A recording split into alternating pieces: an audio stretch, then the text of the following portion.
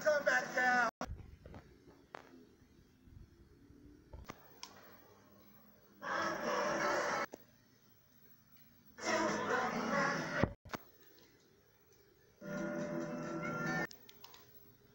Well, Susan, what are you talking about?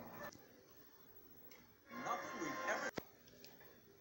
We've seen veteran racers either retire, like Cal Weathers tonight, or fired to make room for these younger...